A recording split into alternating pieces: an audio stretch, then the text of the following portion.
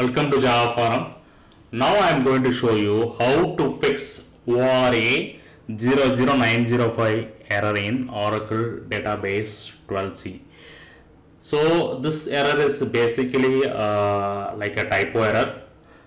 So now let me open the SQL Plus editor, login as a C as a Scott user. It's a common user uh, which I already created. Make sure that you have enough permission to execute the SQL queries. Okay. So now I am typing one SQL query.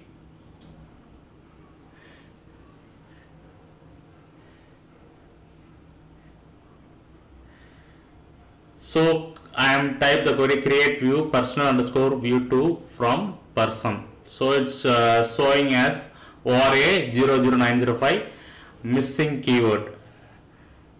So create view person personal view as select star from person. So that is a valid SQL query.